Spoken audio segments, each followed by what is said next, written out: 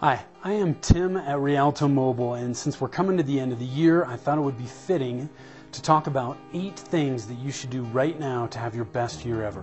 Actually, got this information from Michael Hyatt in an ebook that he recently put out, and uh, thought it was great, so I'm passing it along to you. First thing, reflect on the past year. No matter what's happened in the past year, there's things that we can learn from to help us figure out what we need to do in the coming year. Two is to stay positive, right? If we're not positive, it is very difficult to stay motivated. Number three is to express gratitude.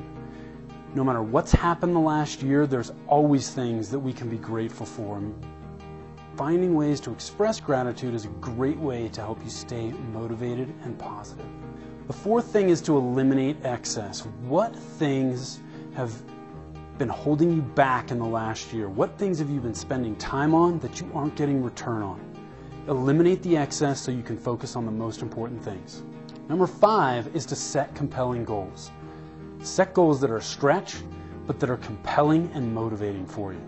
Six is to break those goals down. Oftentimes, goals can seem very overwhelming, but if we break them down into small, manageable steps, it's much easier to accomplish them. Seven is to schedule for the year. Had somebody tell me a little while back, what gets scheduled gets done. So take the time to put the most important things for you in the coming year on your schedule so that they get done. And the last thing, and certainly not least, is to unplug for some time.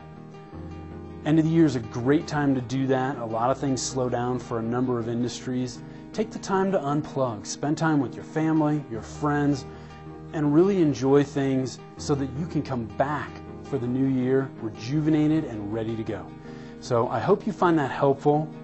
Again, I am Tim Fitzpatrick at Rialto Mobile, and I wish you much success and prosperity in the coming year.